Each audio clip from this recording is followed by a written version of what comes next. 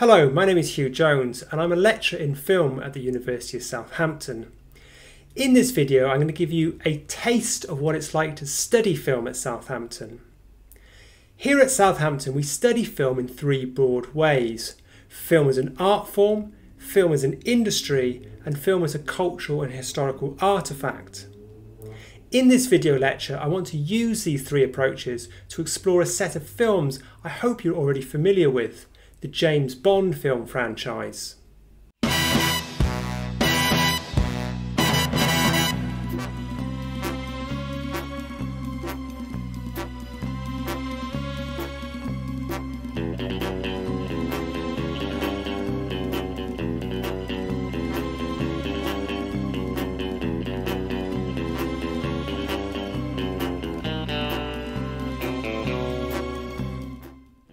This is a topic I cover in my second year module Contemporary British Filmmakers.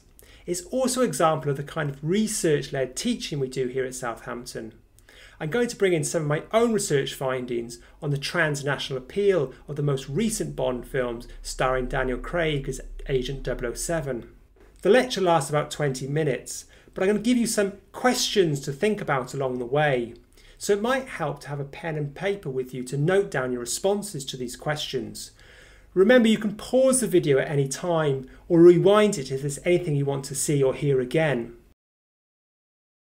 Let's begin by looking at the business of Bond. The Bond films are one of the most successful film franchises ever. Since the first Bond film, Doctor No, was released in 1962, the 25 Bond films have made almost 8 billion US dollars through cinema ticket sales alone. And that doesn't include additional revenue from DVD, video on demand, or TV sales. The most recent Bond film, No Time to Die, has so far taken 762 million US dollars at the global box office.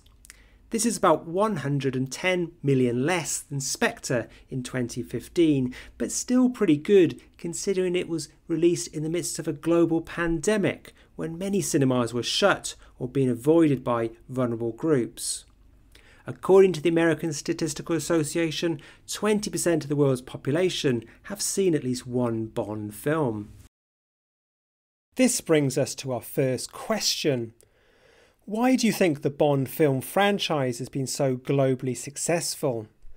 Pause the video now and list some of the reasons why you think the Bond films have been so popular with audiences across the globe for such a long period of time.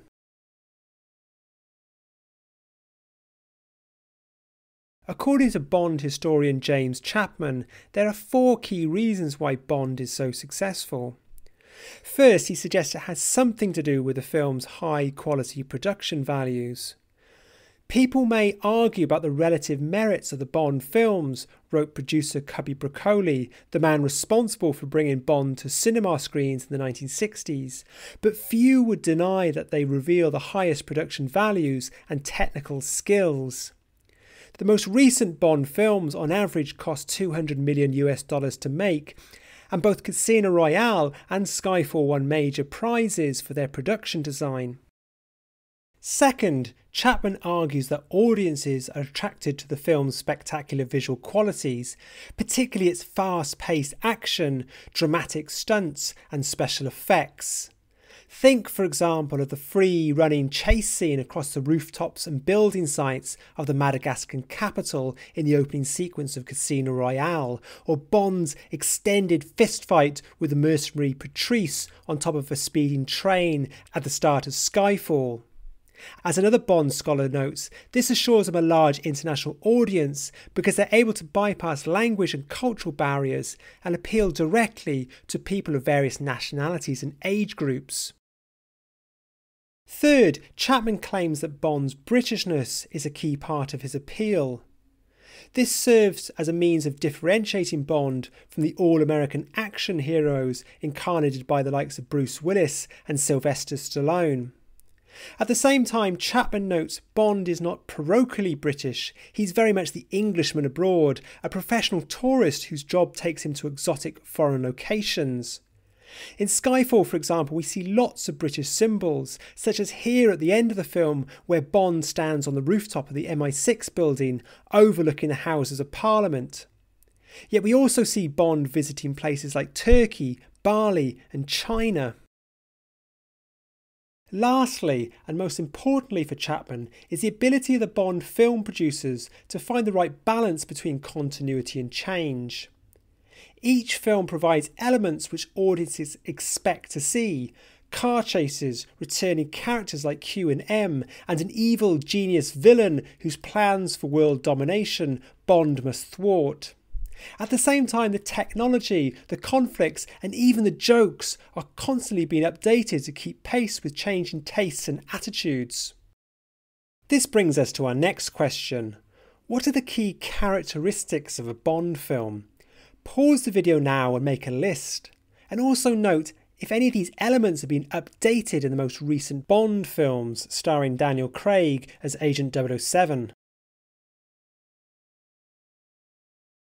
Here are some of the key elements you might expect to find in a Bond film the Bond girls, the megalomaniac villain, a bizarre array of henchmen, exotic locations, the expensive, ingeniously enhanced cars, lengthy chases involving anything from speedboats to tanks, and various imprisonment escape scenarios frequently involving piranhas, sharks, or alligators. We might also include on that list things like the Bond theme tune, phrases like shaken not stirred or license to kill, and a cast of returning characters like Q, M, Miss Moneypenny, and Felix Leiter, Bond's CIA counterpart. But as we've already heard, these elements are constantly being updated to keep pace with changing tastes and attitudes. My own research has looked at how the most recent Bond films starring Daniel Craig as Agent 007 have been rebooted for 21st century audiences. With Die Another Day, the final film to star Pierce Brosnan in the role of 007, ending with Bond surfing a tsunami, there was a sense that the Bond films had become a bit overblown around the turn of the millennium. Comedies like Austin Powers and Johnny English frequently lampooned the spy genre and the Bond franchise in particular. So when Bond returned to cinema screens in 2006 with Casino Royale starring Daniel Craig as the new 007, the film started to adopt a more serious and realistic tone, perhaps inspired by the hugely successful Jason Bourne films directed by the former journalist and documentary filmmaker Paul Greengrass. Compared with his predecessors, Craig's Bond was a far more complex character, both physically and psychologically damaged by his job as a cold blooded assassin. Other characters received a makeover too. Take Q, the MI6 quartermaster, who supplies Bond with the gadgets he needs to complete his missions. In the early Bond films, Q, played by actor Desmond Llewellyn, conformed to the stereotype of the ageing and slightly eccentric white coated laboratory boffin. But in Skyfall, Q returns as a much younger character played by actor Ben Whishaw. In the age of teenage computer hackers and billionaire web designers who are barely old enough to vote, Whishaw's renewal of Q as a boyish computer geek provided a much more apt depiction of the 21st century technical wizard. These changes in the Bond franchise allow us to see how the films relate to the wider society in which they were produced. In other words, we can think about the Bond films as cultural and historical artefacts that tell us about the cultures and periods from which they arise. The original Bond novels, written by Ian Fleming between 1955 and 1963, were published at a time when Britain was beginning to lose its place in the world. The Suez Crisis of 1956, when America forced Britain to withdraw its troops from Egypt, signified the end of Britain's role as a major world power. Fleming's novels lament Britain's crumbling empire while still suggesting that Britain is a power to be reckoned with. America may have the money, weapons, and bluster, but Bond has the wit, brains, and charm to match. At the same time, Bond's adventures portray a world of conspicuous consumption, which in the late 1950s and early 1960s many Britons now felt was in their reach. Bond's jet setting adventures took him to the best hotels, restaurants, and beaches in the world at a time when many ordinary Britons were getting their first taste of overseas holidays and foreign food. Likewise, Bond's use of technological gadgetry to thwart villains appealed to millions eagerly consuming the latest labour saving devices such as vacuum cleaners and washing machines. The Bond films also reveal changing attitudes towards gender. In the early Bond films of the 1960s and 70s, female characters had little individual agency. With a few exceptions, they seem to exemplify Laura Mulvey's claim that in most Hollywood films, women are sex objects merely to be looked at by men. But as women have gained more equality and autonomy within society, the female characters in the Bond films have begun to play more assertive roles. Take Miss Moneypenny. In the early Bond films, Miss Moneypenny is a desk bound secretary who flirts with Bond before his mission briefings at MI6's London headquarters. But in the more recent Bond films, Miss Moneypenny plays an active field agent who accompanies Bond on one of his overseas missions. Bond's boss, M, is also a woman, apparently modelled on Stella Rimington, the former chief of MI5. Yet for some critics, these changes do not go far enough. Bond remains as Judi Dench's M tells Pierce Brosnan's Bond in 1995's GoldenEye. Because I think you're a sexist, misogynist dinosaur a relic of the Cold War. This has led to calls for the next Bond to be black, gay, or even a woman. There's no such thing as a black Bond. It's just, are we interested in having a character, a Bond character, other than being a male? It could be a woman, it could be a black woman, it could be a white woman. But you know, I think that character, everybody would like to see it have, uh, you know, do, do something different with it. Why not? Film scholars have entered this debate. In a recent column for the online newspaper The Conversation, Dr. Shelley Cobb, a film lecturer here at Southampton, made the case for a female Bond. Having a woman and a woman of colour especially take on the role might give the franchise a chance to expose the silliness of thinking that Bond represents the zeitgeist of what's considered desirable and admirable in a man at any given moment, she wrote. A female Bond might reinvigorate the franchise, or she might kill the Bond icon. Either way, it's better to be fearless. Arguing against this position was Bond historian James Chapman, who felt that Bond is an icon of popular culture and shouldn't be messed with. You wouldn't turn Indiana Jones or Luke Skywalker into a woman any more than you'd want a male Bridget Jones, he wrote. We don't need to turn James Bond into a woman, instead, we just need similar films with female leads. This brings us to our next question. Take a look at Shelley Cobb's and James Chapman's columns in the conversation. You can find a link in the slide. Which of their arguments do you find most persuasive and why? And here's another question for you to think about. If there were to be a female Bond, who would you cast in that role and why? Pause the video now to write down your answers to these questions. We may not see a female Bond anytime soon, but the impact of this debate is certainly being felt beyond the university seminar room. Over recent years, we've seen a growing number of Hollywood action films with women in strong lead roles, from Charlize Theron as an MI6 agent on the hunt for double agents in Atomic Blonde, to Gal Gadot as Wonder Woman and Brie Larson as Captain Marvel, film producers are beginning to realise there's a large and previously untapped audience for female superheroes. For the latest Bond film, No Time to Die, Lashana Lynch was cast as 007, taking over Bond's secret agent number after his character leaves MI6. Meanwhile, Fleabag and Killing Eve auteur Phoebe Waller-Bridge was brought onto the Bond writing team, saying explicitly that her focus was to make sure the franchise treats women properly. It's yet another example of the Bond franchise constantly being updated to keep pace with changing tastes and cultural attitudes. Having looked at Bond as an industry, as well as as a cultural and historical artefact, the final way we can approach the Bond films is as an art form.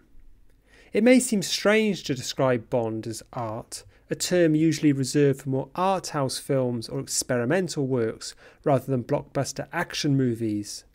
But regardless of whether we think the Bond films are artistically good or bad, they nevertheless involve creative decisions about what we see and hear on screen.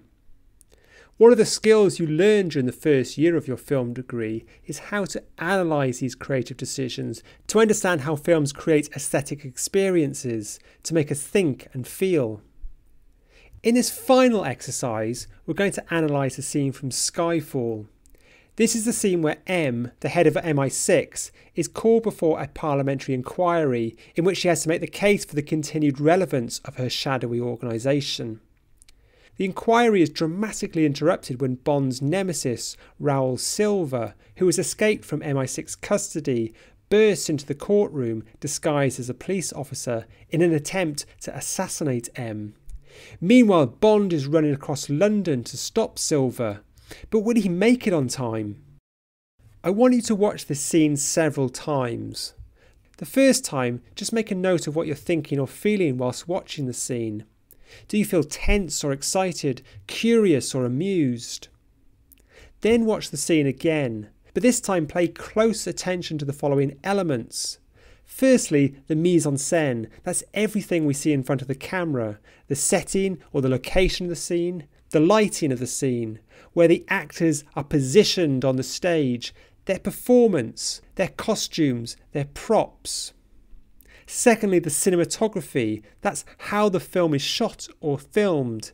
The angle, the level, the height, the distance, and the movement of the camera. Thirdly, the sound. Everything we can hear, the music and dialogue, which can either be diegetic, that is in the film's world, or non diegetic, that is outside the film's world. Finally, the editing, how the images are cut together. Are the different shots showing events happening at the same time and in the same location, what filmmakers call continuous editing? Or are we jumping to different time periods and locations, known as discontinuous editing? Think about how all these elements are working together to create that mood or feeling you identified the first time you watched the scene. Also, assume that nothing you see or hear in the sequence is accidental.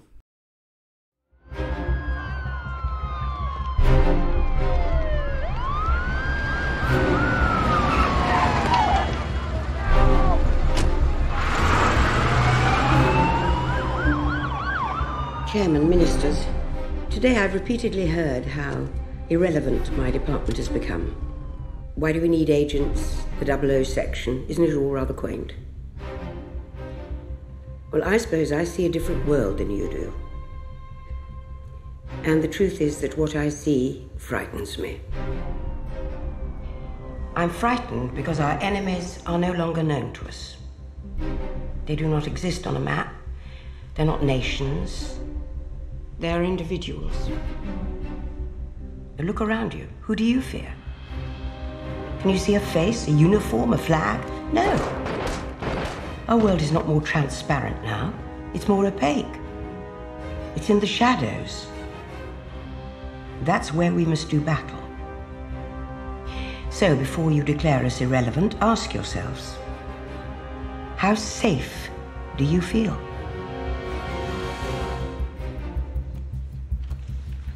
One more thing to say. My late husband was a great lover of poetry, and um, I suppose some of it sunk in, despite my best intentions. And here today, I remember this, I think, from Tennyson. We are not now that strength which in old days moved earth and heaven. That which we are, we are one equal temper of heroic hearts, made weak by time and fate, but strong in will, to strive, to seek, to find, and not to yield.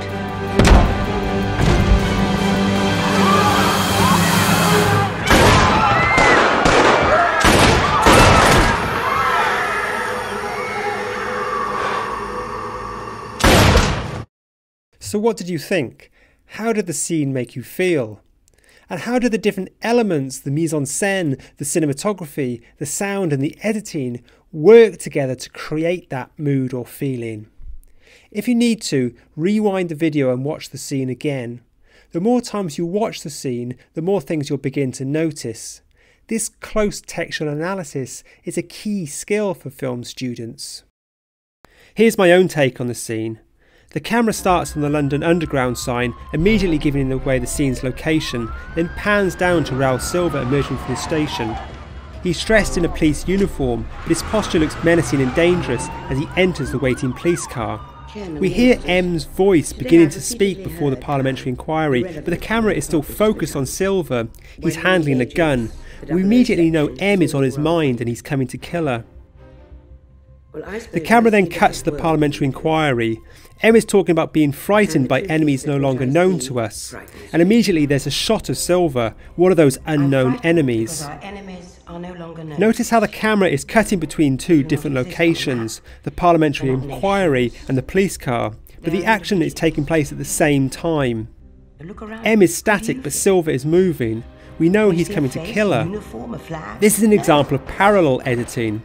It seems like a very obvious technique, but when parallel editing was first developed by Edwin S. Porter for the silent film The Great Train Robbery of 1903, it marked a huge breakthrough in the language of cinema. The tension is underlined by the non diegetic soundtrack. The strings echo the sound of a heart monitor.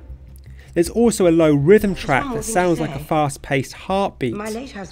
Our own heart rate begins to quicken. And, um, Meanwhile, you can hear the faint sound of a ticking clock. Time is running out for M. And here today, I remember this. I think. Suddenly, the music begins to swell and shift from a dark minor to a light major key as our hero James Bond emerges from the tube station. Now the action is cut in between three locations: M in the parliamentary inquiry, Silva walking towards the parliamentary building, and Bond running down the street. Made weak Notice how each of the main characters, the hero, the villain, and the victim, are framed at the centre of the will. camera. This emphasises their significance to, to the plot.